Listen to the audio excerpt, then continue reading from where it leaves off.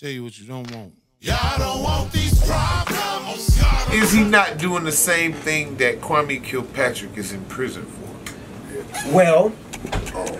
if he is, and I'm, I'm, I'm we'll get to that. If he is, then if Kilpatrick's doing a world record 28 years, and then we went bankrupt after that, and then you come in and start doing the same thing, then you need to be doing 38 years. Coach, referees. Okay. It's an organization behind All them motherfuckers need to go to jail, Jail, too. too. it. It's, Because it's the not bitch gonna doing it, it don't matter if you following rules or not. If you doing the same thing this motherfucker in jail for, It's- your ass well, needs to be in that's jail the too. difference. You don't want. Y'all don't want these problems.